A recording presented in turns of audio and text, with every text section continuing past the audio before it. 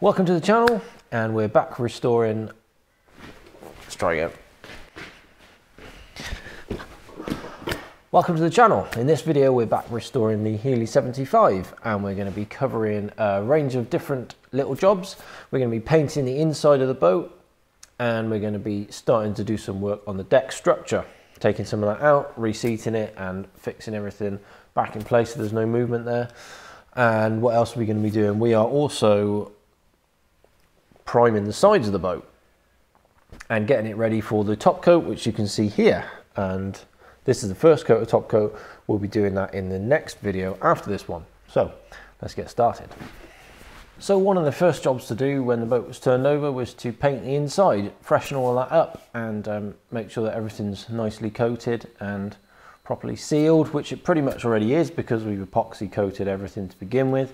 And we keyed up most of the stuff before we put it in the boat. So this uh, painting stage process was pretty much just ready to go um, straight away, which is quite nice. A little bit thinking ahead of time makes things like that um, much easier when it comes to doing something like this. So the paint that I'm using for this is a product by Jotun and it's called Penguard Top Coat. It's a really nice paint for bilge stuff, things that are out of the way that need to be highly protective. Uh, I used this paint on the inside of Missile many years ago and it's pretty much my go-to sort of bilge paint really. It's a pure epoxy top coat. It's got a little bit of sheen to it, it's not particularly glossy, but it's highly resistant to water, oil, petrol, pretty much anything that you're potentially going to have swimming around in the bilges of these old boats. And it's a bit of a nice kind of forgiving, just sort of slop it on kind of paint. You, um, you know, for things like this where you're not getting an amazing finish, you just want protection there as your primary um, concern. It's really great for that. So painted the whole inside of this boat with two coats of that and um, that'll give us a really nice backup protection to um, to the epoxy coating that's already on there. And if we take a look at what this boat was looking like before, it looks a little bit smarter inside now, so that's good as well. This paint doesn't have a great UV resistance, so it's really only usable for things like bilges or behind side panels and flooring on the boat, um, things that aren't going to be in direct contact with the sunlight. So that's just one thing to bear in mind if you're considering using it on your boat. It needs to be um, really out of the kind of uh, out of direct sunlight. So then we're on to uh, doing some more shaping work on the outside of the hull. So if you remember from the video before when we were working on the boat, there was still a little bit of work to do on the transom, just in getting that right. So I set about doing a little bit more filling and fairing on that. It's not quite as mountainous as it may look, that filler. A lot of this is coming back out. And, um, you know, we're probably only talking maybe two to three mil in the deepest areas on this transom, but uh, it took several rounds to get it nice.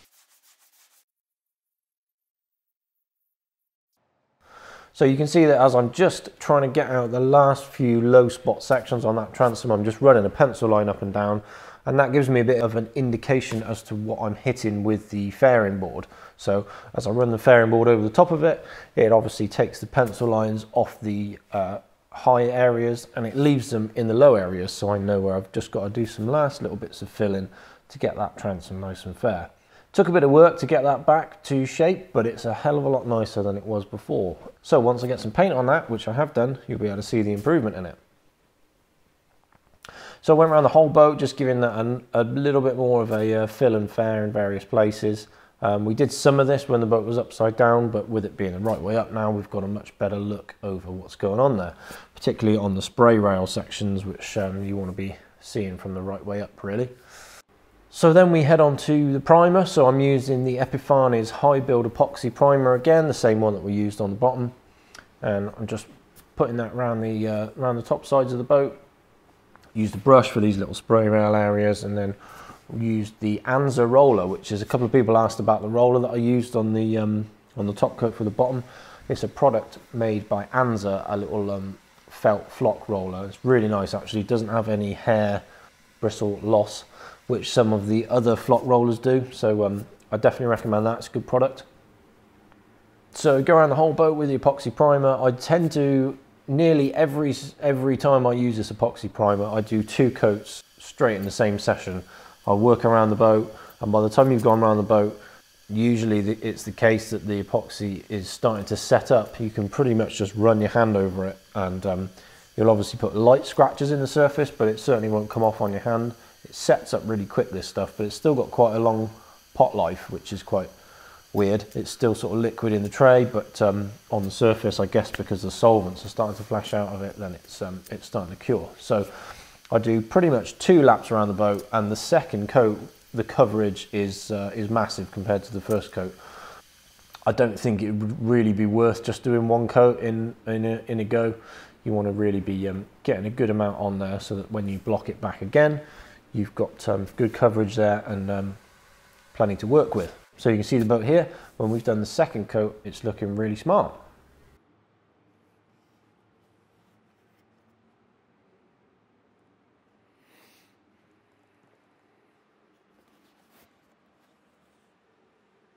So then we're on to the deck structure.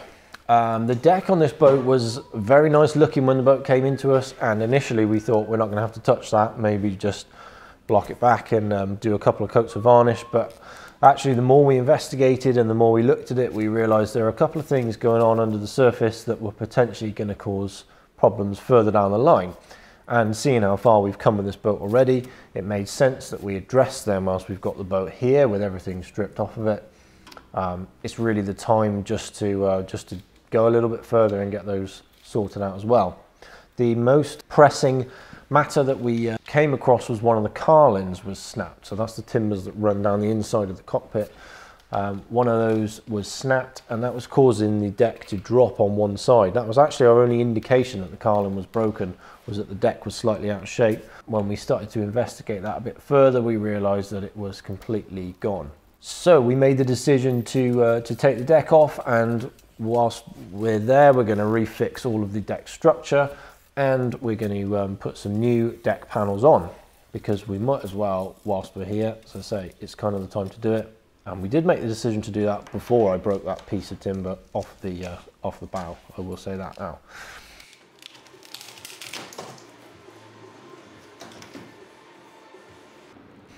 So here we can see the carlin um, as you look down you can see a little flat spot in it where the break is it's just where this timber comes across and meets it um, that timber supports the forward end of the deck hatch. So uh, we'll take a look at the break in that in a minute. Initially, I was just going to take all the deck beams out, re-glue them in place. There's nothing wrong with them. They're perfectly fine to go back in, but they're just kind of pocket hole screwed effectively into the shear line on this boat and not glued particularly well. It's pretty old glue by now. So it makes sense just to pop those out and re-glue them in place so that they're a bit more firm and they're going to last um, a good bit longer. So we unscrew those, just mark their position with some masking tape and they get put back in with some thickened epoxy.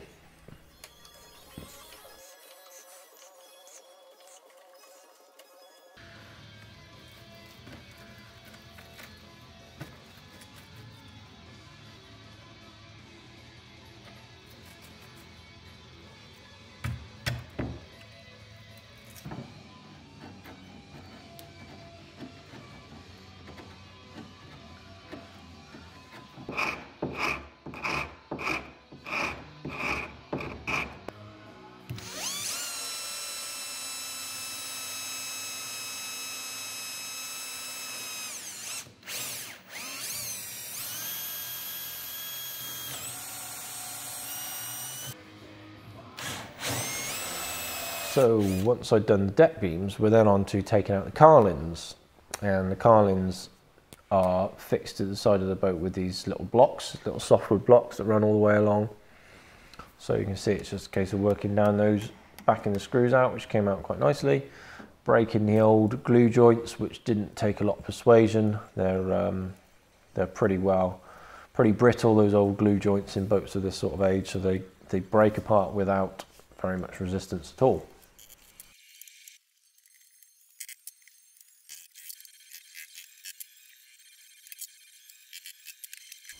And here you can see the repair that was on that broken carlin. So a little piece of plywood on the back side of it.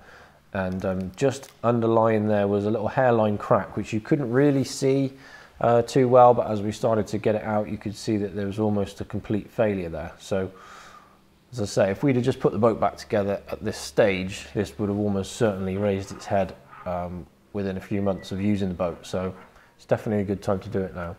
And actually these carlins have quite a key role in strengthening the side of this boat. And um, I see this quite a lot with these old boats actually. The deck is a bit overlooked really in, um, in its role that it plays. It actually does a lot to stiffen up the structure of this boat and um, this is one of the reasons I got to the point of priming the boat and then as I was fairing it I was thinking okay the sides of this are flopping around quite a lot really so we need to do the deck structure to stiffen everything back up again before we proceed with um, the final paint process. So we put um, some new carlins in place and sprung them in. Uh, they were a little bit thicker than the original ones, just a couple of mil to give some extra stiffness to this uh, area of the boat. And um, as I say, this actually plays quite a key role in the, um, the general stiffness of the, of the whole boat structure. It's stopping the top from flopping around and the sides from moving. So um, it's, uh, it's quite important that this is a good strong element of the boat. Almost as important as the bottom really, I would say.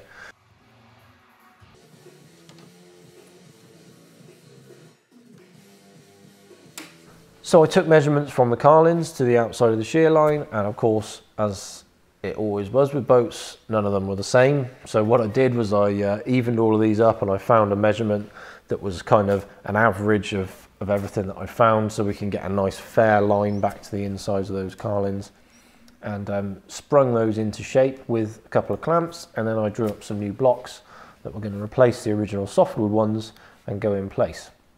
So just put them on the top scribe them underneath with a pencil and then cut them to size on the bandsaw.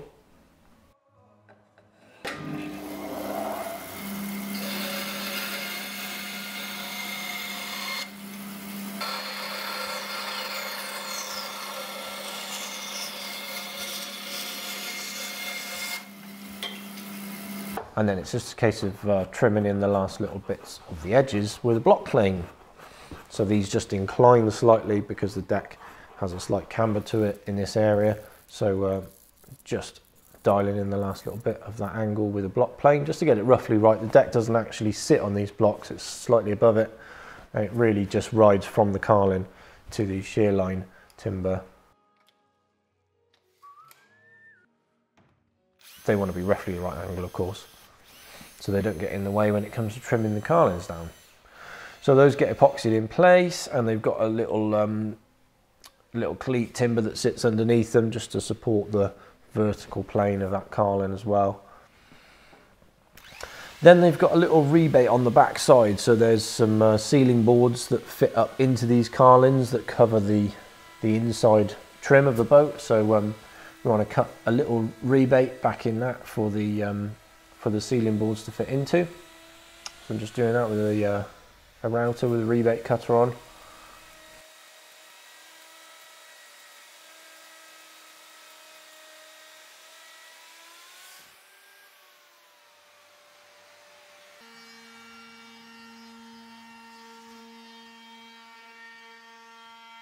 and then on their internal finished edges they're just rounded over so I'm using my little trim router here with a um, with a small round over bit and just softening all the edges that are exposed once the um, once it's finished. These are actually upholstered these um, these carlins and I wonder if they were finished wood originally because they were done in mahogany so they were quite nice looking originally and they were rounded on the internal edges. So some of the boats may have not had upholstered ones I'm not sure so you can see me just gluing a little cleat in there underneath the block that spans between the two of those.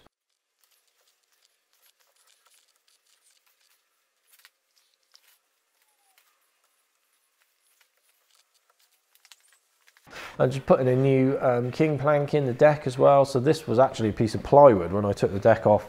This was a bit of, um, I think it was 12 mil ply that just fell to pieces really when we, uh, when we removed the deck. So that doesn't really want to be plywood. Yeah, it wanted to go back as, as solid timber. So I put a piece of sapele in there and glued that down in place.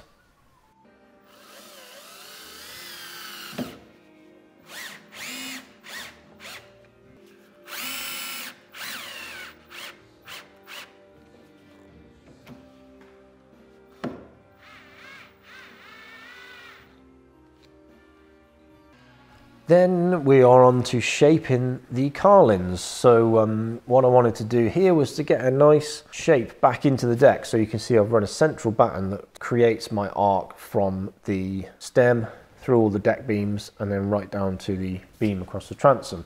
So I wanted a nice fair curve that runs across all of those. And then from that, I want to take a curve that runs from the center of that deck line down into the uh, top of the shear line either side. So I just run a little batten sideways across that main central one and that's all raised up by the thickness of the central batten and then I mark it back down to the height that it wants to be using a little piece of timber that's the same thickness as that central batten. That gives me my line to work to on the carlins. So I mark that at various different stations and then I just join the lines up with a little batten that I run lengthways between them and that gives me a mark to then trim the carlings down to which is hopefully going to create a slightly cambered deck that's nice and fair all down the sides of the boat. So the, uh, the flatness of this deck was actually what highlighted the issue to us here because we noticed that uh, one side was dropped and it didn't quite look right. So that's what made us investigate where the breakage was in the deck. And that obviously led on to us then reinstating pretty much most of the deck structure.